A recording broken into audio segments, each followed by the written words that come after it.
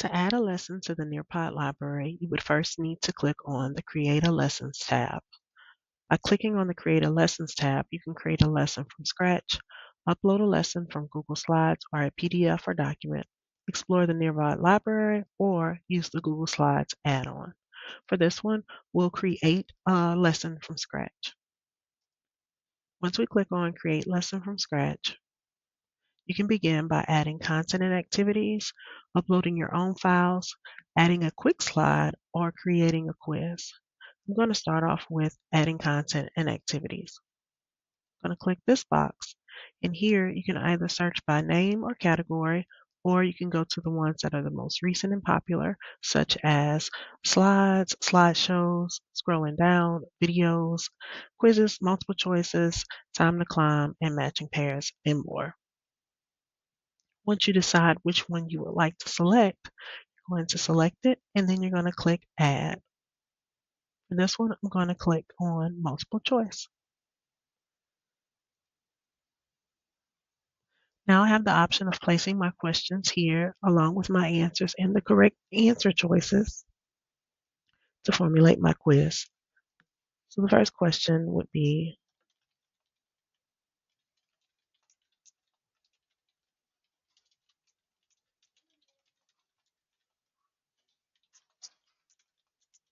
So my first question is, who would be the main character in the Three Little Pigs? I can type out the question. I can change the font size. I can change the depth of the font, underline it, and also I can change the font color. In addition to that, I can add in any images, audio, or other media that would be supporting the question. Here I will type in my answer choices.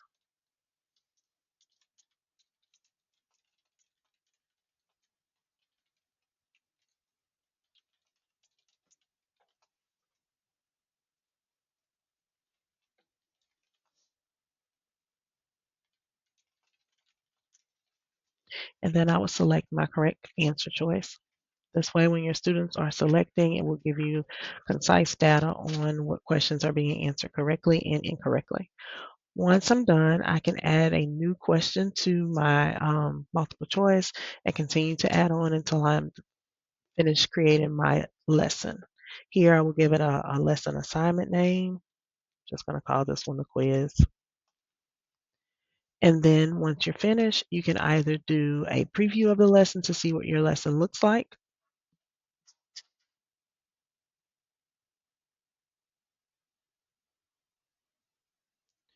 Or you can also um, save your lesson and exit.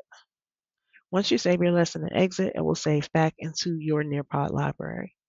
So here we have our lesson here in the Nearpod library, and we're now ready to teach. Another way that you can add a lesson to your library is by clicking on Create a Lesson. And instead of creating a lesson from scratch, we will explore the Nearpod library. So I'm going to click on Explore the Nearpod library. Once I do that, I can search either by grade, subject area, content type, publisher, and if we have that premium content, we can search it through the premium content as well. I also have a search bar here at the top. So for this one, I'm going to search it by grade level. I'm going to go to fourth grade.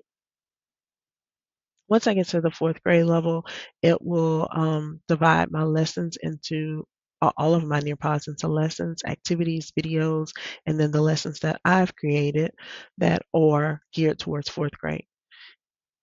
If I wanted to narrow it down to a specific subject area, because right now we're at 999 plus in each one of them, I can narrow it down by clicking on subject, click in the subject area.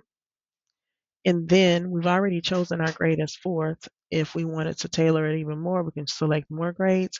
And then for the sources, we can we have it set for the Nearpod library. Once we do that, we have our um, activities that are here. And any activity that we find interesting for our students, um, because our subject right now is ELA, um, anything that our students, we can add that to our Nearpod library. So let's say, for example, we wanted to do the race writing strategy. If I hover over it, it will give me an example of a preview and add to my lessons. Because we want to add this to our Nearpod library, we're going to click on add to my lessons. Once we do that, we'll get a message at the top saying that it was successfully added. And if we click over here to my lessons, you will see the race writing strategy right here, in addition to the quiz that we created earlier on our own from scratch right there. And this is how we add our lessons to the Nearpod library.